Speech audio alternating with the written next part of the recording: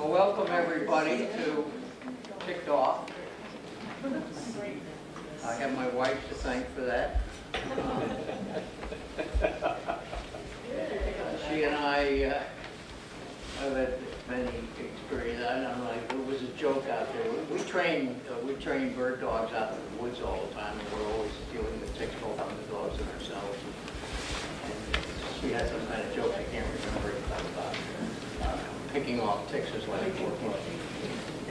But, uh, I've had, I've had a lot of experience with ticks myself, but, uh, what we're doing tonight is a presentation that's more about uh, ticks, their ecology, their management. Uh, We will be touching on subjects such as Lyme disease, which I'm sure many of you are very much interested in, but that's a very large and complex and complicated and controversial subject. Uh, So uh, we want to concentrate more on the ticks and the bacteria that the ticks are carrying. There are some other tick-borne diseases also. Um, And the other topic that will come up is climate change, another uh, long, complicated, and controversial subject.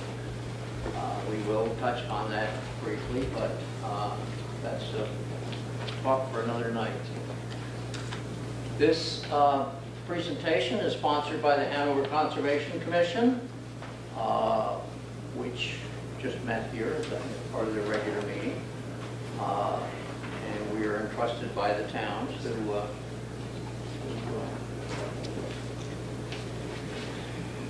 take care of the natural resources of the town and also tend to help educate the public on natural resource issues. Another sponsor is the Hanover Conservancy, which is a private, not-for-profit, uh, which has a lot of conserved parcels in town, works on a lot of uh, mapping and resource inventories and preservation of properties in town. And uh, the third is UNH Cooperative Extension. Uh, We have with us Alan Eaton from Durham, uh, and I also am part of an outfit called Coverts, New Hampshire Coverts, which is part of Cooperative Extension.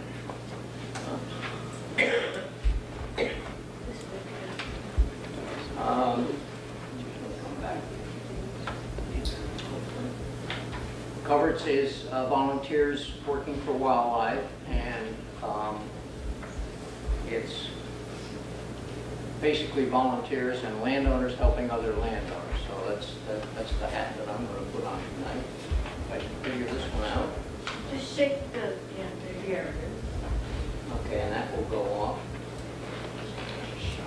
All right, to turn that?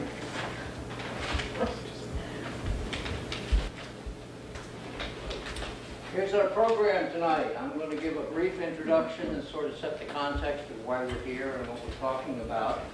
Second part will be Alan Eaton here, who's up from Durham, from UNH, who is the expert on ticks and, and tick-borne diseases in the state of New Hampshire. When I asked around the various different organizations, they said, you gotta get Alan Eaton. So we got him, he'll be here, and he'll give us a nice talk. He also has some samples over here, and microscope, and a lot of publications.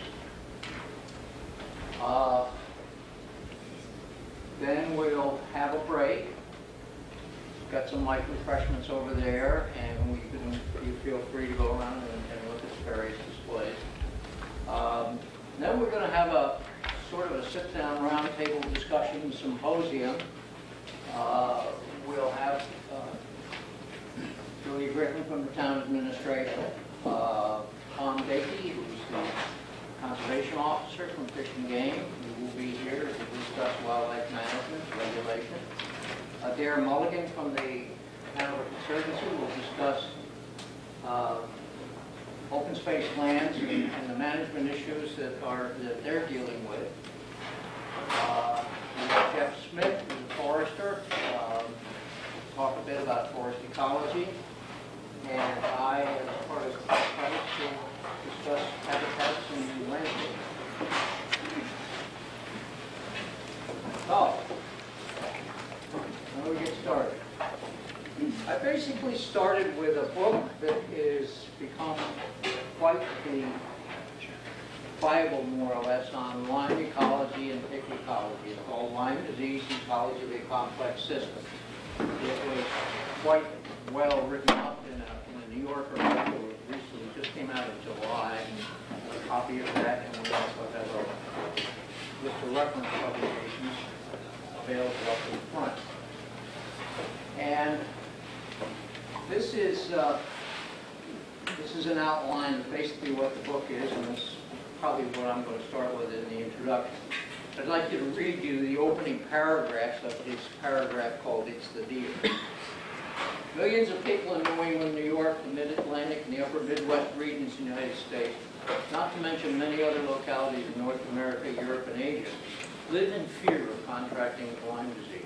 They're aware that at any time they picnic, hike, garden, walk the dog, or play catch, they could encounter a tick and get seriously ill. The pervasive impression is that ticks are much more abundant than they used to be, that they're pretty much everywhere, and that deer are to blame because they're responsible feeding the ticks and spreading them around.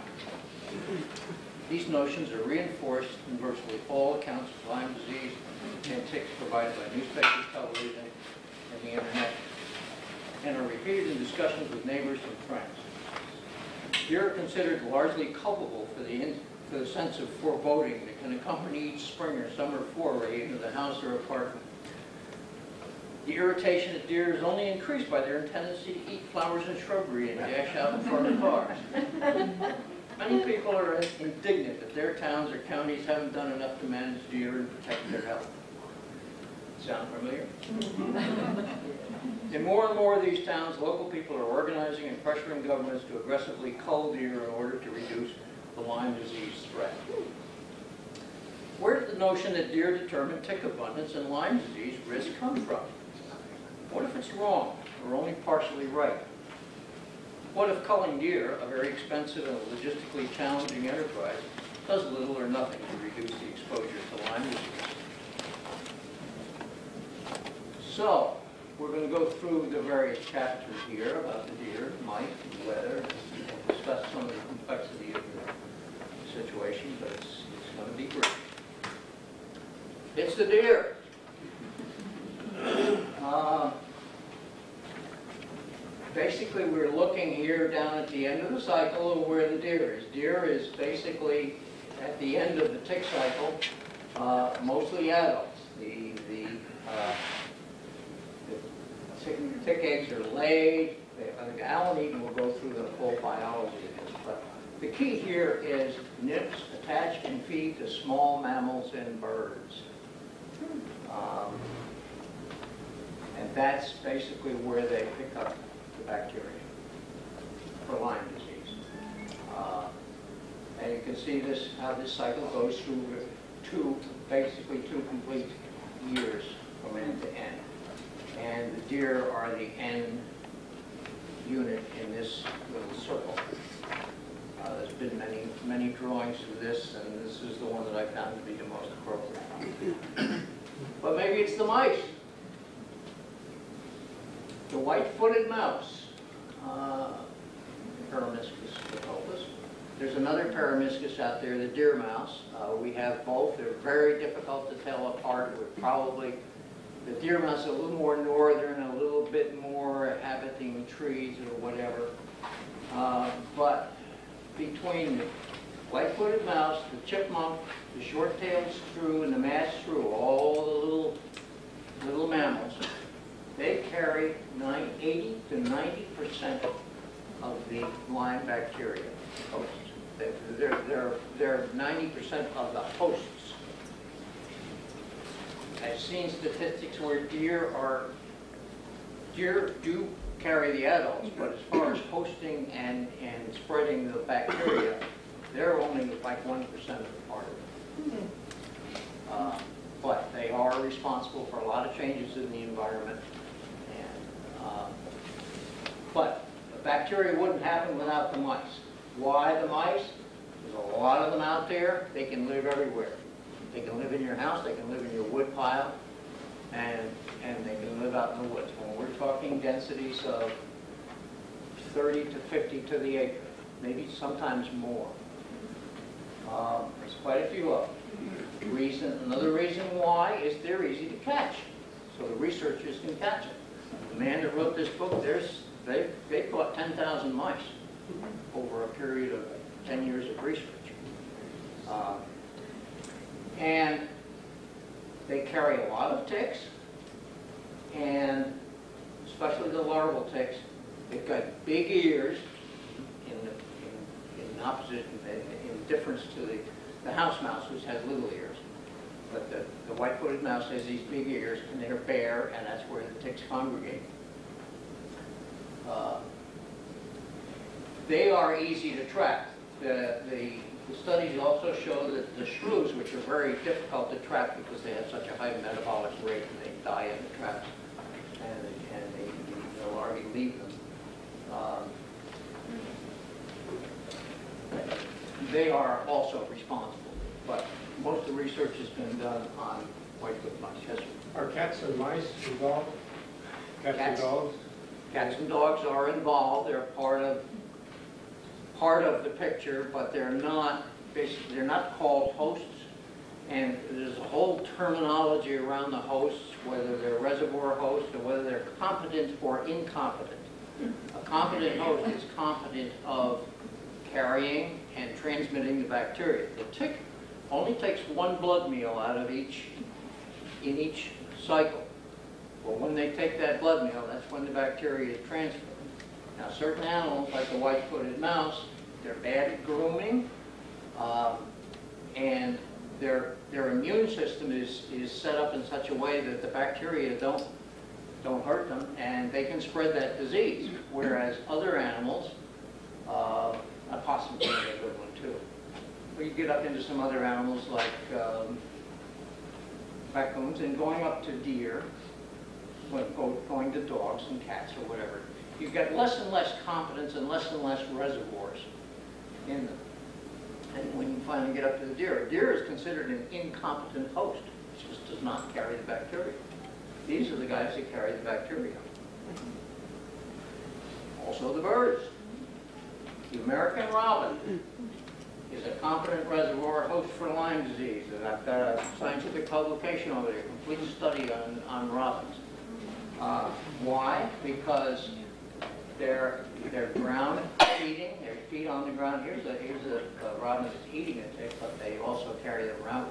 They're migratory, they to spread the ticks. Uh, So your friendly robin out on the lawn is a tick vector. Um, oh, A tick host, I'm sorry, the vector is the tick. Uh, The vector of the disease is the tick, and the host is the American robin. Here's, uh, Mary Holland sent me this picture of a song sparrow with a, with a tick right on its breast, is an adult and an engorged tick. Here's a veery, another bird of the forest floors, understory, moist woodlands, exactly where these black-legged ticks like to hang out. And look at all the ticks around the eye of that veery. And veeries are not, there's also been studies known, shown about their grooming habits.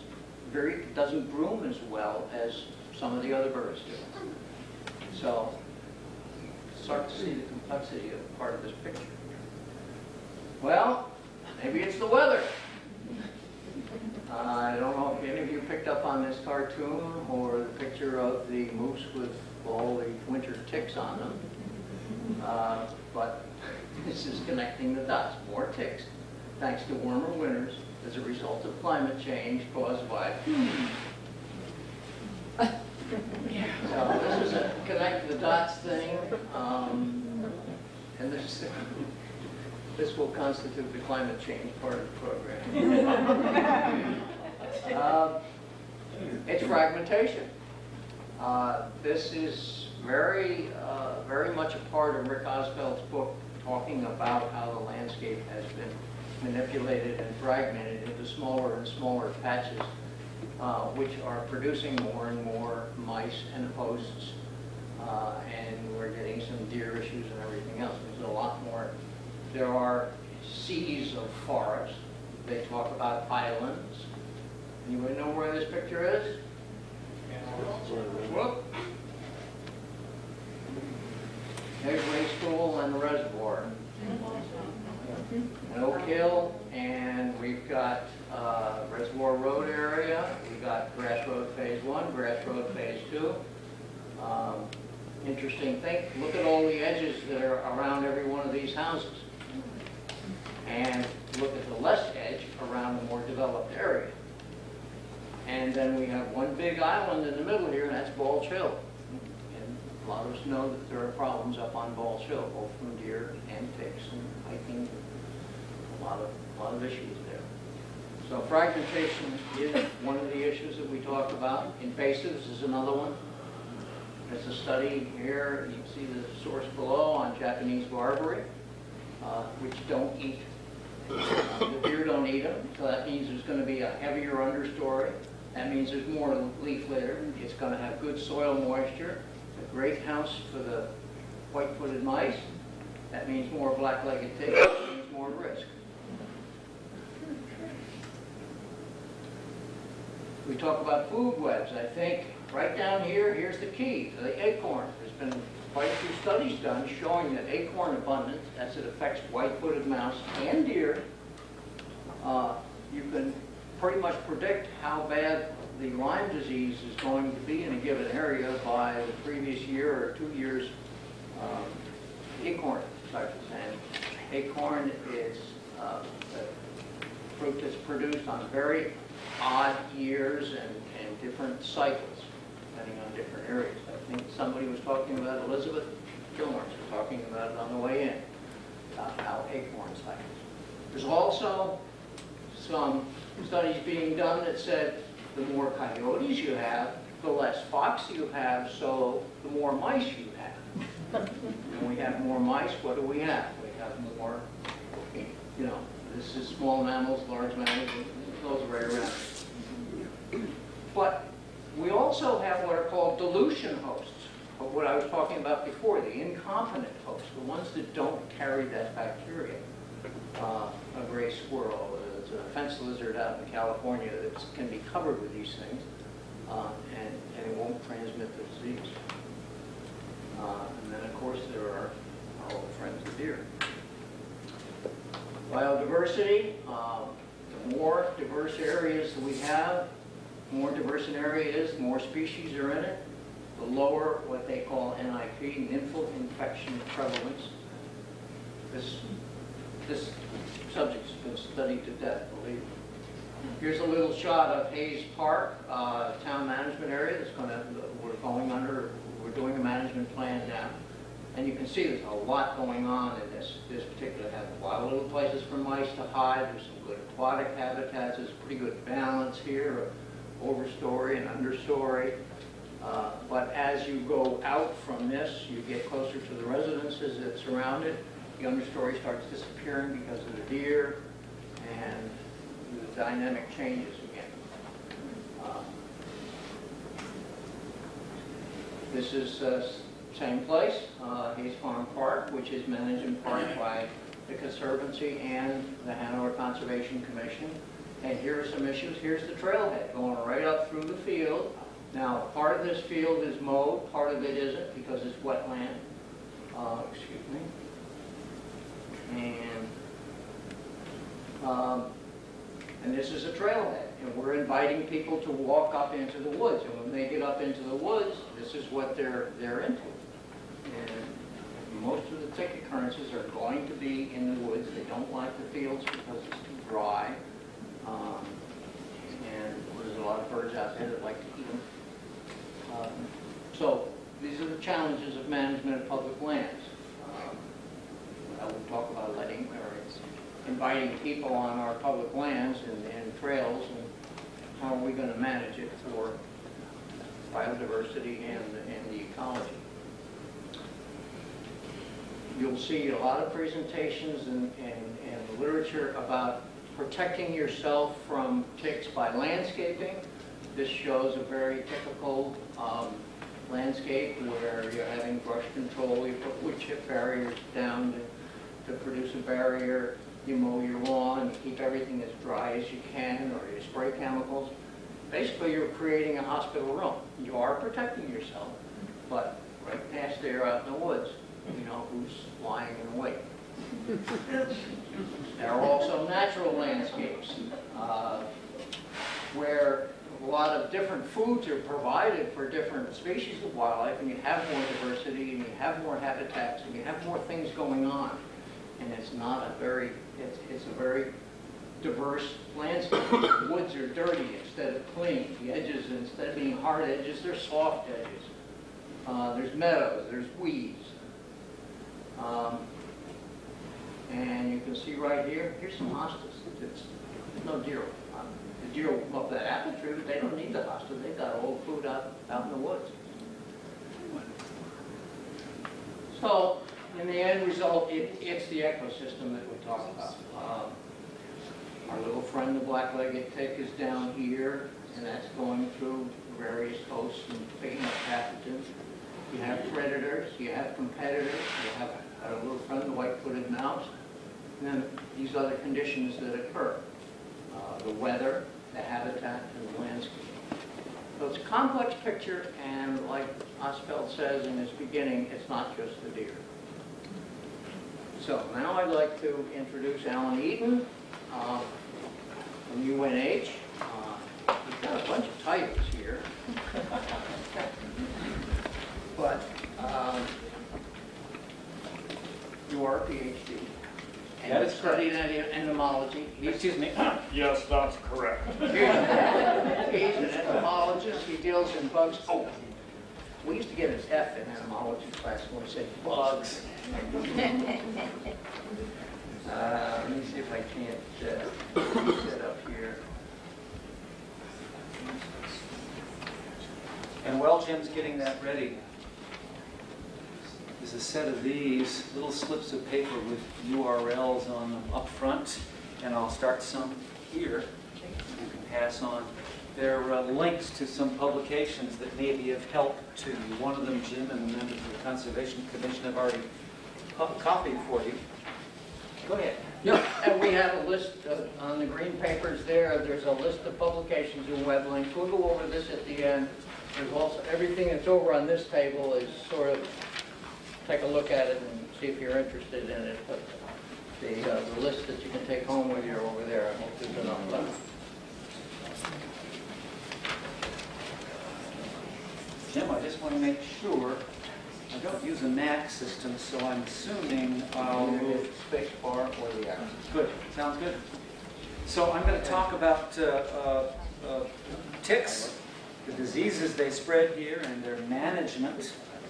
And uh, I'll start off by pointing out that New Hampshire is blessed with 15 species of ticks, more or less. Uh, Most insects, just like most ticks, don't have accepted common names, so if I'm going to go over them, I have to use Latin names, because that's the way to be correct.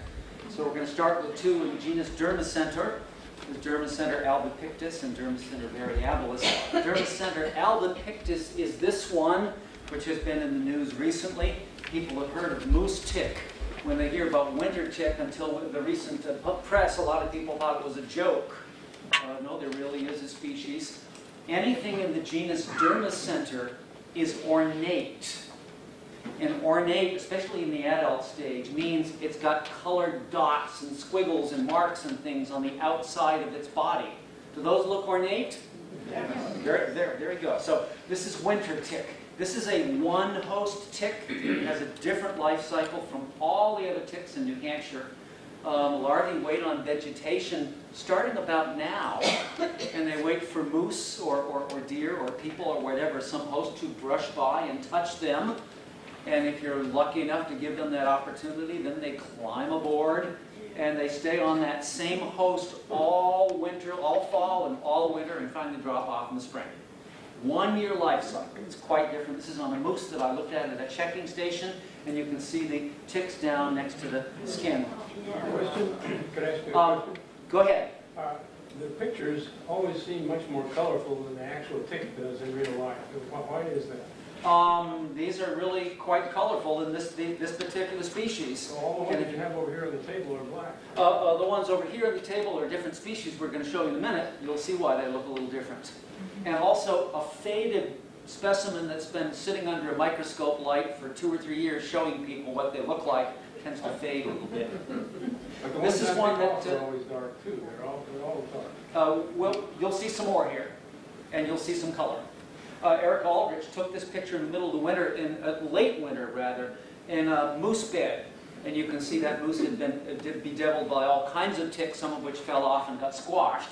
But there's one adult female right there, so she drops off in late winter and then lays her eggs in the spring. This is what they do to moose.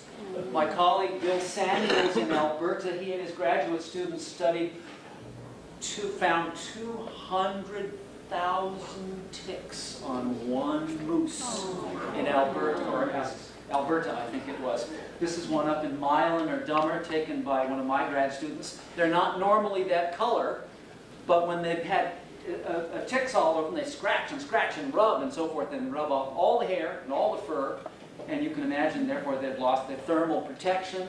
Uh, imagine this thing, poor thing, bedeviled. And most of the deaths that occur from these, and they do kill moose, occur at the end of the winter or early in the spring. So there's Dermacentor uh, albipictus. The next one is our most common tick in New Hampshire. It's the American dog tick. It's got a uh, relative that lives west of the Mississippi River called the wood tick. But nobody here would ever call it a wood tick, would you? What about people on this side of the room? All right, just, just want to make sure. Good. Oh. So uh, this is the correct name is American dog tick. Uh, you can see it's in the genus Dermacentor because it's ornate. The males look a little different from the females. The males have white squiggles and a dark scutum, and the female has dark squiggles and a light scutum, but they both have dots on their legs and so forth. So um, uh, this is one of the three host ticks. This is our most common species in New Hampshire. This one does not spread any of the disease, the diseases I'm going to talk about tonight. None of them. Isn't that nice? So then we have two species in the genus Haemaphysalis, and these are getting so rare that I'm not even going to show you photos because I haven't seen a live specimen in a number of years. They're being pushed out by other things. So we're going to skip over them. They're still here, but at very low levels, both chordeilis and Leporis palustris. And then we've got about uh, 10 or maybe 11 species in the genus Ixodes. And the most important of these for our purposes tonight is Ixodes scapularis, and the correct name is black-legged tick. It used to be called deer tick, but the correct name is black-legged tick. And there's what it looks like. You can see it's different from a dermacentor. It's nice and, the female is nice and bright orange, at least in the rear part of its body, but there's no dots or squiggles or, or X marks or anything like that on it. So uh, it looks quite different from dermacentor. Um, this is the one that spreads Lyme disease, babesiosis, and anaplasmosis, all three of them in New Hampshire, and uh, maybe some others. And then we've got one more, Rhipicephalus sanguineus. This one does have a common name. It's the brown dog tick. Is that well named? I think it's a pretty, pretty good name. Uh, that one's the one that's a little more likely to be able to survive indoors and strongly associated with dogs, lots of dogs. So it's often found in kennels. Except for winter tick, all of the ticks that we have in New Hampshire are so-called three-host ticks, and they follow this life cycle. They start life as eggs, and here's an adult of uh, American dog tick. This female is about halfway through laying her egg mass, and you can see this egg mass right here. So she has this giant meal that she, she when she fed on something for, for sucked blood for a number of days, and she's transforming that meal into eggs. And as her egg pile gets bigger and bigger, she gets smaller and smaller and smaller until finally she's a little bitty dried up scale and she dies. So there's the egg mat, and so all of the ticks lay their eggs in masses like this of hundreds of eggs. The eggs hatch, and they hatch into larvae, and this is in our, uh, Dr. Smith took this with her microscope downstairs from my lab. That's the head of a pin, a common pin. How many legs do ticks have? But, but wait a minute, how many are on the larvae? Six. So as larvae, they have only six legs. And they wait on leaf litter down low, and they wait for a host to brush by and touch them. And if you are so obliging and give them that opportunity, they climb aboard and they bury their mouth parts and feed for a couple of days and then, I don't know, burp, I guess, and drop off and then transform into the next stage. And the next stage is the nymph. And then it has its full complement of eight legs. It's a little bit larger, and of course it takes weeks between these stages, and in some cases months. And then the nymphs do the same thing. They wait on vegetation for a host to brush by. If they're lucky enough that that happens, they climb aboard that host, bury their mouth parts, feed for several days longer, uh, uh, blow it up with blood, drop off, and then transform into the last stage, which is the adult. And in this case, I've shown in a male of American dog tick. And if a tick is lucky enough to make it all the way through its life cycle, if it's a female, it's had three blood meals. Guys, the bad news is if it's a male, they've only had two. and um, it takes two years from the time between one egg mass to the next egg mass, a two-year life cycle.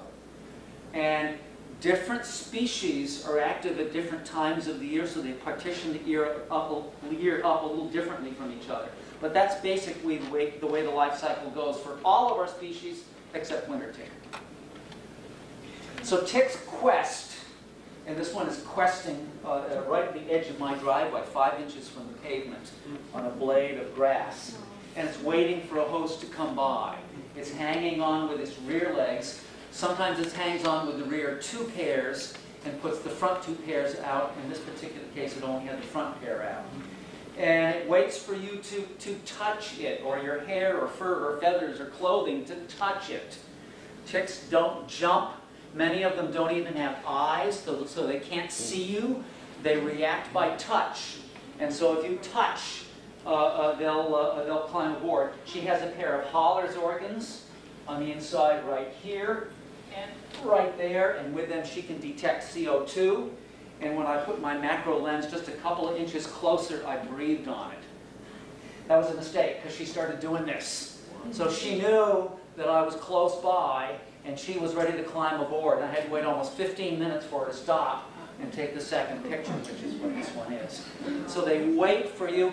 Uh, frequently we have a situation where you find a, a, a tick on your head, and you, you, you find it on your neck or something, you immediately assume Yeah. it came from the tree up there. No, no, that tick started way, way down there and ended up on your neck or ended up by your head. They almost, almost never are found in trees. Maybe uh, one species in tree cavities, but they're almost never found up in trees, or except maybe if they're in trees, they're maybe up like two inches or three inches. The most important mortality factor for ticks is, according to an elementary school student in Dover, is good. Uh,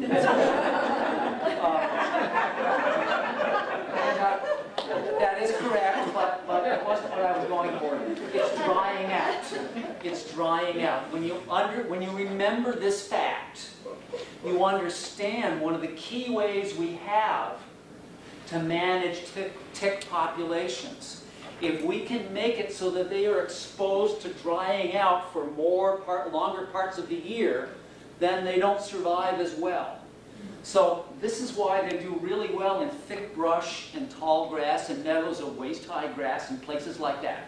It's got to be damp-ish, not so damp that the, that the ground is saturated, then they'll drown, but nice and damp and, and humid for a lot of the time. So when you know that, uh, you know some of the most important tools you can use to manage tick populations. Uh, even though occasionally a reporter gets it wrong and says in the newspaper that Lyme disease is caused by ticks, it's actually caused by this corkscrew-shaped bacterium in a medical text next to a couple of red blood cells. So the spirochete named Borrelia burgdorferi is the cause of the disease. The ticks are just vectoring it, spreading it from uh, uh, uh, one host to another. If you're unfortunate enough to uh, uh, get this disease, amongst the early symptoms, and these are symptoms in the first six to eight weeks if you don't get treated, include any of these four, any one or more of these four things. Headache, fever, muscle aches, and a red spreading rash called erythema chronicum migrans, ECM. So I went to my doctor and I said, oh, I've got muscle aches and fever and a headache, and he says, you're just getting old. Uh, But the doctors must have a tough time uh, uh, figuring some of this out. If you happen to show the, the rash, that really is helpful, especially if you remember that you were bitten by a tick at that particular location. Really helpful to your physician to help diagnose what you've got. Dr. Eaton, Yes, ma'am. one of the things I tell people in the pre- when I do the presentations is to take a picture of it because of the, it will eventually fade. And many of us have uh, phones and things like that that take Absolutely. pictures easily. Take a few pictures in different light settings. And uh, what I've, uh, uh, what my physician asked me when I had this earlier on was, did it spread? And I had measured the, the width, and, uh, but that's another story. Uh, the first, the first picture, this one is unretouched. This is on an upper arm. And this photo, I put into Photoshop, and I said, increase the contrast. So do you see that the margin of this one is a little bit darker? In some cases, there's a bunch of concentric rings.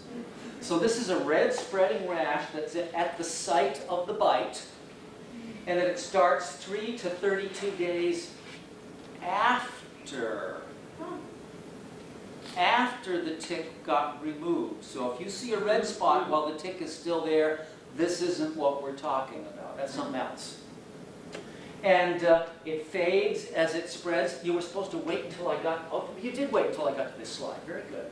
It's warm to the touch. Something on the order of 60% of Lyme disease patients show it, which means about 40% don't. Uh, That's my arithmetic at the University of New Hampshire. If you are not treated and you go on past six or eight weeks, then you begin to get into so-called late uh, symptoms, and these can, uh, uh, any of these can occur along with a couple of others. Extreme fatigue is quite common. Uh, joint problems, especially in the knees. There are both heart arrhythmias and something called Bell's palsy. Uh, both the arrhythmias and the Bell's palsy are caused by a blockage of one of the uh, of cranial nerves. There's a pair, there's 12 sets of cranial nerves, one on either side here, and if you block one of them on one side, like the oculomotor, which has muscular function as well as other things, that means the muscles on one side of your face don't respond. So look at that guy. Do you see? He's trying to smile. Look at the eyebrows. Look at the cheeks. Look at the lips. So he's got a blockage on one side. It looks weird. It's called Bell's palsy. And that's one of the late symptoms. This was, uh, uh, I have to tell you the story. My son was going on, this is my son, was going on a camping trip with the Cub Scouts. It was a place where uh, uh, I said, I, I knew there were lots of ticks. It was going to be late May. I knew was a bad time for ticks in Durham, New Hampshire. So I said, you be sure and you check yourself for ticks at the end of the day. He said, oh, Dad, I can't. He knew that means you have to take off your clothes. And I said, go into the tent, zip it closed and do it. Use your flashlight. And so he said he would. The next morning, here's how he came back to me. So, and, and I said, I told you to check yourself for ticks. And he said, Dad, I did. And I said, what did you do then? And then he said, we all went and played hide and seek. so I, I couldn't be I couldn't be angry, could I? So do you notice the reddish area? This tick is a good entomologist takes the picture before he removes it from his son. A good entomologist does that. Um, so when you see this, this is life. What's happening is uh, she is injecting saliva. She injects a cement. She injects anticoagulants. She injects things to hide from your immune system. And so when you see this reddish area that's forming when the tick is still there, that's likely a response to those kinds of things. It's not ECM. Uh, I tried to take a photo of the most recent map on Health and Human Services website, and I couldn't get the, the current one, so I had to use this older one from 2010. They report, every year they report the number of cases by town And you can go to their website, there's a link on the end of my publication, I think the last or the next to last page, and you can go here and look at it. If the town is white, or in the- way that the film saw this one, it's light gray, that means there were no cases reported in 2010 in the town of Benton. If it's darker gray, like in Orford and Lyme here, that meant there were one to four cases in that town, and they did not compute the amount. I think they think it's so low, it- it might be, it might be um, misleading. But then if it's got uh, anywhere from 1 to 99 cases for every 100,000 people, like it's this color, like, what's this town right here? And, uh, uh, and then if it's uh, uh, darker, it has 100 to 199, like in Plymouth, it's a dark blue. And the town I used to live in is just uh, even darker blue, Lee, New Hampshire. Most, if you look at the map, uh, of most of the highest concentration of cases is down in Rockingham and Hillsborough counties. So you can go look at this yourself and see the most, the latest map, this is just the one from 2010. I think the one on the table is 2011. I can't remember if the 2012 one is on their website yet. Nymphs are the most common transmitters. They're much smaller than the adults, so they're harder to detect. We miss them. They also have the ability to transmit it faster than the adults can. How big would a pinhead be on that picture? Um, a pinhead would be about this big across. And in fact, if you want to see that particular, this, this nymph right here, it's on, it's on a card by the microscope. Not, not now, wait till, wait till. So uh, I'll tell you about how the disease is spread. Step number one, uh, Jim mentioned this, a larva or a nymph of black-legged tick feeds on an infected reservoir host, therefore picking up the spirochete with its blood meal. A reservoir host is a host in which, when it gets the disease, the spirochete builds up to a fairly high level in the blood. That does not happen in people.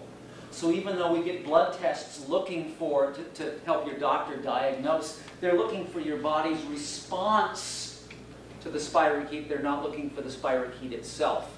So that if it feeds on, for example, your friendly white-footed mouse, uh, try picking one up and see if you can do it without getting bitten.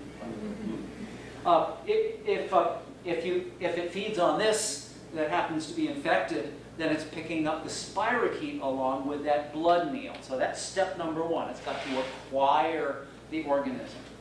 And then step number two, it has to digest that meal and transform into the next stage, which is the nymph. If it was a larva, we're starting out, the next stage is the nymph stage. And this may take weeks for this to happen. And then uh, during that time, the spirochetes multiply more within the blood, uh, wi- within the GI tract of the tick. And then step number three, when that tick feeds again, which may be weeks or months later, and that tick buries its mouth parts into the host, uh, all kinds of incredible, incredible magical things happen. This is only one sentence, but there's all kinds of magic happening in this sentence. The spirochetes multiply more, and they move to the salivary glands where they get injected into the host as the tick feeds. Sounds simple when you just say it right out, but guys, they're in the GI tract. How do they get to the blood? They directly penetrate the gut, and they make it through the gut and into the blood. And, and ticks, they have an open circulatory system, so the GI tract is sort of floating in blood. So it directly penetrates the gut and then floats around in the blood for a while. And then when it manages to find its way to the salivary glands, it directly penetrates inside the salivary glands. Magic trick number two, in the same sentence.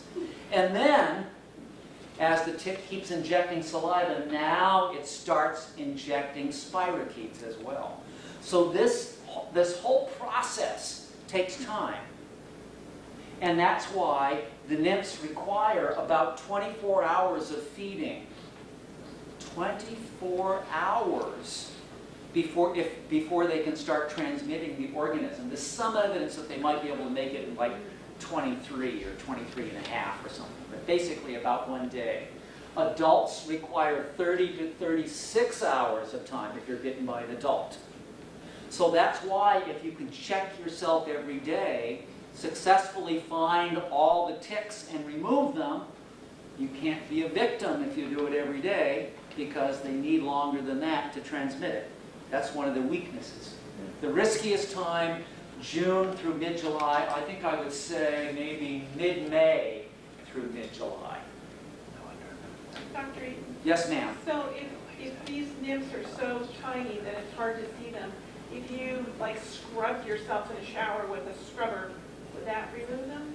I would suggest that you uh, in- invest the the help of a loved one to assist you, rather than assume that'll do it. That's a serious comment.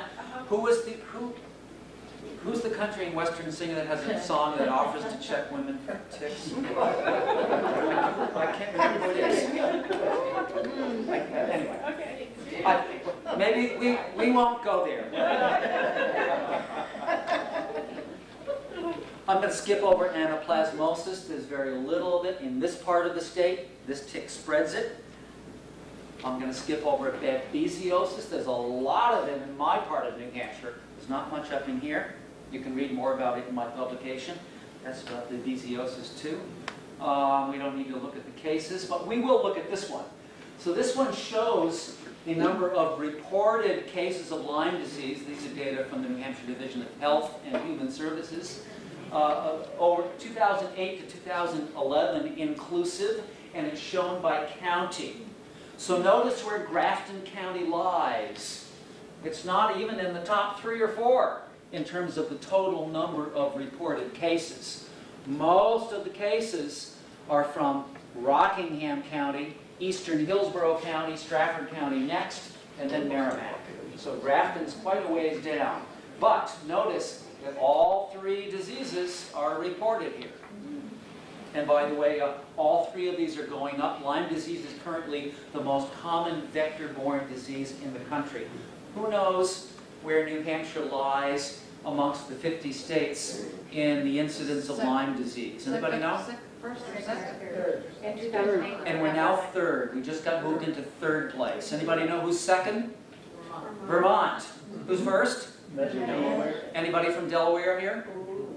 Delaware. I, I wish we were down in 10th or 11th or 12th, but we're third place. Dr. Eaton? Yes, sir. Those are gross numbers, not related to the population of the counties. Those are, those are the to- total numbers. So before uh, the data was per 100,000 people, these are the total numbers. About a thousand a year. what actually comes, I mean, how does it get reported? Which I'm- reported? I don't know the details about the reporting, but physicians have a number of diseases that they are required to report to the authorities. And the disease and the symptoms have to fit certain criteria. And if they fit those criteria, that's, a- that's accepted as a case and it gets reported. So if And if it doesn't fit, it doesn't get reported. So you treat it, they'll report it? Um, your physician is supposed to be reporting it, and that's how, it- uh, and, and I assume they all do it.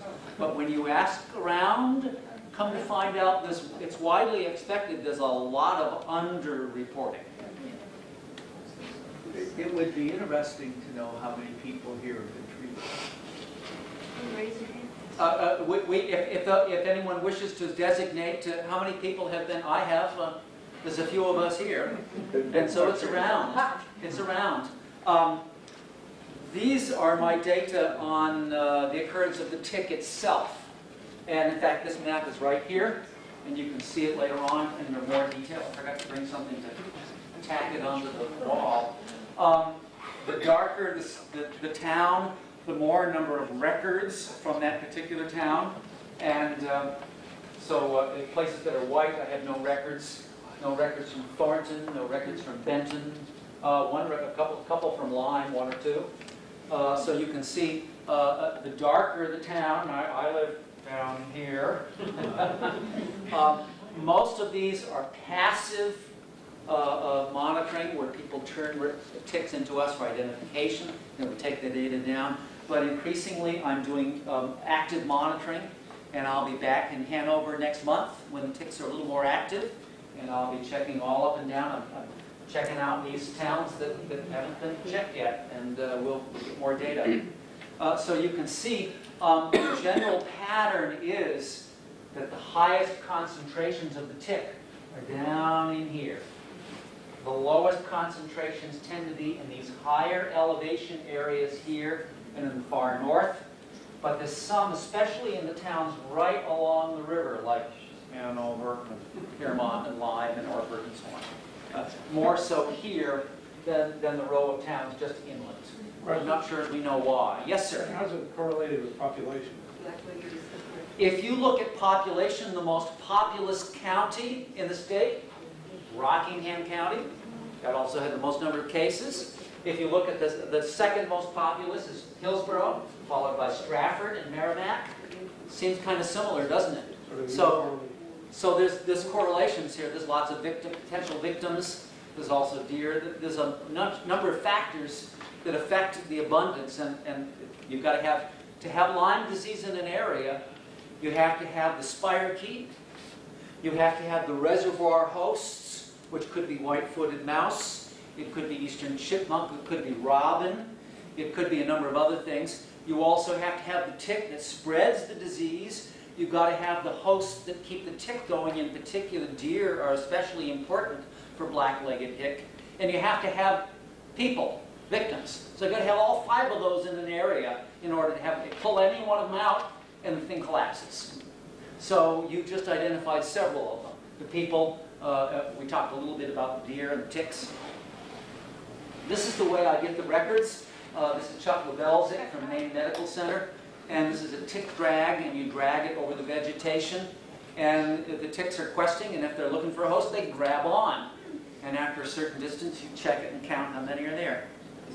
In fact, if any of you are interested in helping us at deer or moose checking stations this year, I will need some assistance. Uh, I, I, I need helpers, volunteers to help out. Uh, Jenny and her, I can't remember her roommate's name, um, they're checking this animal and, and fanning the fur to examine how many ticks are on it and recording on the data sheet. That's how we got some of the data that we, uh, that we first used in this study years, about 20, close to 20 years ago. There's a number of things that you can do to significantly reduce your risk of being a victim. This is one of them. Check yourself for ticks at the end of the day. I do it at the end of the day. Um, after any day that you've been outside. Now, if you've got snow on the ground, covering then you don't need to do it. But um, if we got bare patches and it's mild, yeah, you do it. Um, anytime the temperature is above about 42, 43 degrees Fahrenheit, those ticks will be active so long as there's no snow in the way. Um, so, uh, uh, especially checking yourself May, June, July, and October. May and June are when the nymphs are most active. Uh, October and May are when the adults are most active. So, uh, uh, check yourself at the end of the day. Um, if you, it's hard to see your back. I've got two mirrors at right angles mounted so I can easily see. I don't have anybody to help me, but you may have a spouse or somebody that can help you out. And uh, uh, it, it's very helpful looking at places you can't see. Check yourself regularly. Remove any ticks that you find promptly. Remove them. When I was a kid, I was told, touch a hot match to it, it will make it let, how many other people were told that? It'll make it let go. No, please do not. In fact, the other thing I, we were told was, uh, slather in Vaseline, it will smother it and make it let go. Please do not do that either. We worry that if you touch a hot match to it or slather it with Vaseline, it will inject you with spirochetes in its death throes. We don't know. Nobody's volunteered for that experiment. So we, we prefer that you do not do that. Instead, take a pair of forceps or one of these little tick spoons, and these are commercially available. And the name of the tick spoon is, maybe you don't see them marketed in this part of the state, ticked off. It has a little slit in it, and you can fit the head right in that and then lever it right out. For those people that are getting a little, my- I'm starting to get arthritis, so I have a little more fumble fingers. I use forceps because I have them all the time. You grab the tick as close to the head as you can, and slowly pull it out. It might take 30 seconds. You don't twist and yank, that'll break it off. But that's how you do it. Please, no, no Vaseline or hot matches. Um, I know not everybody hears me on that because we get greasy, scorched ticks sent it to us every year. This is why. These, this is taken in the electron microscope in Kendall Hall across campus from me. And uh, the, this harpoon-shaped thing in the center is what she buries into your skin, and she buries it all the way up to here. So you start counting the teeth. These teeth are rigid. So when she wants to let go, she can't just let go. I mean, the life of her progeny absolutely depends on her holding on, and this is the way she holds on, for five or six or seven days. When she wants to release, she has to uh, kind of scissor her way out, and it might take uh, uh, 10 or 15 minutes. So this is why, anybody ever gotten a, when I was a kid, I, I, I got a dry fly in my best dress shirt, I got in the collar. And a fly that only had one bar. It took me forever to get it out. If this has 20 or 30 or 40, imagine how long it takes to get that out. So that's why you don't touch the hot match or do the Vaseline trick. Avoid the thick brush and the tall grass. Uh, you never know what might be hiding there. That's where the ticks survive the best. Um, so that's where you're likely to find them. Um, you might want to consider tucking pant legs into socks. If you do this, uh, I need a, I need a prop.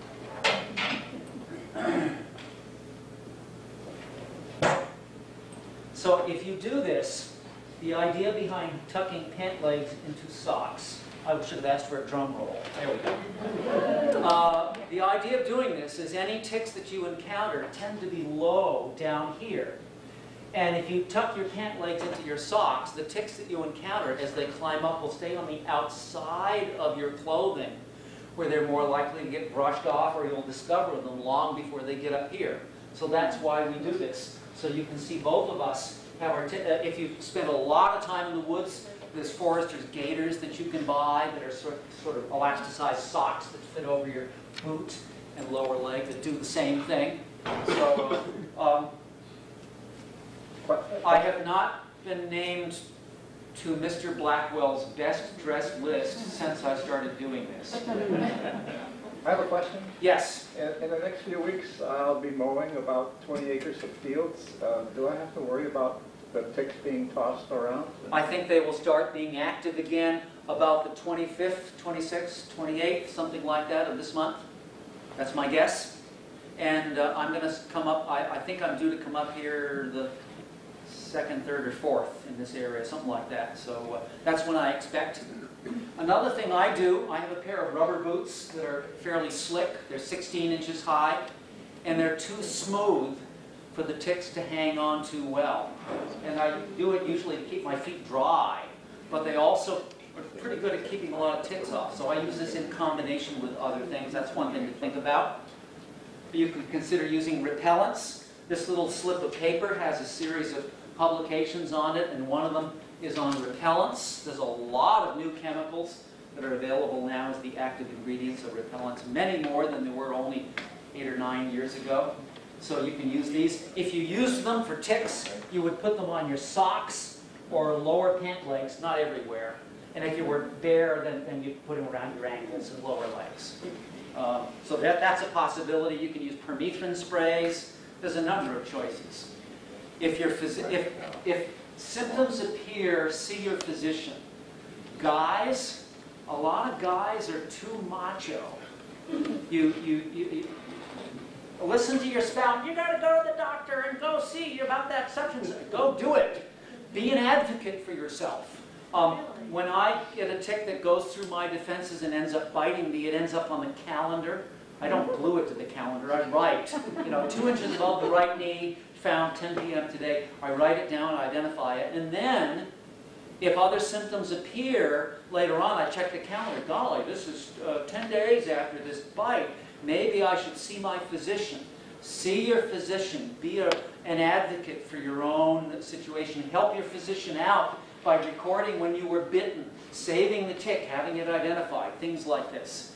Uh, it really helps. The, the ones that get into trouble are the ones that wait and wait and wait. The longer you wait to get treated, the less successful is the treatment. For people who are landowners or, or managers, there's a number of things that I go over in the publication to reduce uh, tick abundance or to manage them in some way. Manage to avoid thick, tall brush and stuff like that, mowing and thinning and pruning. Fence out areas that have really thick stuff. Move your cu- customers or visitors away. Move, make trails nice and wide, free of vegetation. Inform yourself and your employees. Some of the most effective signs I've seen places just show a tick just show the, the, the, the uh, silhouette of a tick and reminds visitors, oh yeah, there's ticks here. I hadn't thought of that. Uh, move play equipment away from the wood's edge. There's a number of things that can be done. Here's one, this trail needs to be wider. They were at least starting, they were fencing out the real thick stuff. But that trail, all the ticks are gonna be right at the edge of that trail. Uh, make them wider. Uh, there's a number of things you can do. If you want to use pesticides, that is an option. Some people don't like that option. You don't have to do it then. There's both uh, uh, uh, artificial chemical pesticides and there's also organic materials. Uh, June is the best time to control black-legged tick, early June. One proper treatment should make a major difference. I spoke with, I, I won't say where, what county the person was from, but I spoke with a person earlier this last year who, when I gave my lecture in July, had already treated their lawn nine times that year. Had treated the lawn. Why, why would you do the lawn? Any, for ticks, nine times. Oh my God, that's way overkill. Once, the, the proper way though, and a pressure, a pressure application that, that roils up the leaf litter is, is the one that's most effective. Yes, ma'am? I just talked to a tree person about doing that, and they, they have two different kinds of applications. One is an organic one, and they say they usually do the spray nine times, but the other one, which is not organic, is more effective, and they only have to do it once. It depends again on how they do it. For those that insist on the kinder, gentler approach, you sometimes have to accept that That's it's gentler on the ticks. The lower, the leaf litter and the lower few inches of the shrubs and and so forth are where your target area is, not in the tops of the trees, not in the middle of the lawn, waste. Uh, Thick brush, thick vegetation, uh, uh, Japanese uh, uh, barberry, places like that. Um, You can read the publication to read the materials. This is one where I try to emphasize to people that you have the ability to tremendously affect your risk of being a victim. Depending on what you do, where you go, how you carry yourself, whether you check yourself at the end of the day or not, you have the ability to tremendously increase your risk or tremendously decrease it. It's up to you. Our good health, I think we should think of it as a partnership between ourselves and our physicians and the medical system and so on and so forth. But we have to play a role as well. And a lot of the risk you control, um, like whether or not you check yourself for ticks at the end of the day. Um, this is an example of this week. We're starting to get worried about uh, mosquito spread diseases, and I've been talking to a lot of reporters in the last few days about those. That's kind of the same way, but especially so with the tick spread diseases. You have the ability to control a tremendous amount of risk, and part of it is being informed. This little, uh, the URL, the slip with the URLs on it, lists uh, the couple of publications and the video. So if you want to see my smiling face explaining how you can uh, uh, protect yourself from ticks, you can uh, see the video. And uh, let's see, I didn't, want, I didn't list the one on winter ticks, but if you look in the publication, you can read the winter publication as well. Extension's website is extension.unh.edu. You can write down, you, you can use this to uh, uh, look through the URLs. And if you look at the form of the publication of mine on the web, the one on biology and management of ticks, there are live links at the end. And uh, for example, if you want more information about the diseases, I think the best place to go is the CDC's website, the Centers for Disease Control and Prevention, cdc.gov. I have to admit I don't want to, but I have to admit that CDC's website is a lot easier to use than UNH Cooperative Extensions, and easier to use than Health and Human Services in New Hampshire. But uh, uh, there's a place, good place for information on the disease. Um, If you have a tick you want identified, you can send it to us. Our website has the details, there's the address. Um, Health and Human Services has more details at their website, and that's where you can see those maps I showed. And the state entomologist still does uh, uh, tick identifications, as a link through DHHS's site. I think, Dr. Eaton, um, how do you, if you were to we can have the lights, Vicki, where'd she go? We can have those, you're right on it. if you were to send the specimen, how do you recommend you do it? I mean, not gonna squish it, but, Um, We recommend that the postal service is not kind to unprotected specimens. So you put it in some kind of a container that won't get crushed. uh-huh. And if it's a, if it's a container like a small bottle or something, you put a little bit of padding in it so it doesn't bang all over the place and fall into 20,000 pieces. Otherwise, if I just get little pieces of tick, I write you back and say, your specimen was brown. And that's all I can tell you. So, um, and, and the website tells a little bit more about the address and how you send it in. By the way, there's an Office of Cooperative Extension in every county. In this county, it's up in Woodsville, and they can, you can send stuff to us through them. There's various ways. Um, we do stuff to some degree through photos, but you need a real close-up, good in-focus photo. And for some species, I could only guess because there's too many lookalikes, you need the microscope to tell. And I also understand that there's a different, um, there's the same genus, Borrelia, but a different species, other than Burgdorferi, that does, uh, give the Lyme disease. My colleagues at Rutgers and Harvard announced it to- in New England Journal of Medicine this winter, I think, and it's called Borrelia miyamotoi. Right, And it's thought that it has symptoms that are relatively similar, and I believe the treatment is relatively similar. I don't know much more about it than that. Jim, are, are we going too late? for- uh, should I, I- feel free to cut me off if you want to move us to the panel right away. Well, I, we're gonna have a nice panel where we're gonna do a lot of back and forth and questions. Uh, I would say if any questions about uh, Alan's presentation, um, about ticks and, you know, we're starting to get deep into the Lyme disease thing and I want to get a little bit, We'll, we'll do a couple more. Yes, sir, in the back. Um, So you were saying you take the forceps and you get as close to the head as possible, and you apply a gradual pressure, and how long would it take to get the thing? Depends on whether it's just attached or whether it's been in there four or five days. I slowly increase the pressure more and more and more till it comes out. Sometimes, it, sometimes the mouth parts break off, so what? As long as you get How the, long the would- head, I mean, how long would you take? 30 seconds. Okay. Yes, sir. Can you say a little more about uh, protecting your yard, and in particular, if there, if it's, if there's any point in trying to keep animals out, considering them sort of futile to keep out mice and birds? I cover a lot more of that in that publication you have that was on the desk, Biology and Management of Ticks in New Hampshire. And um, basically, you've got mowing, pruning, and fencing, the training the kids not to go into the woods edges. Those are the ways that are the most effective. In addition to that, there's the possibility of using pesticides annually. we've Up also here- got lists out here, uh, and publications on control of deer and white-footed mice and plants for landscape, et cetera. So there are a lot of resources out there.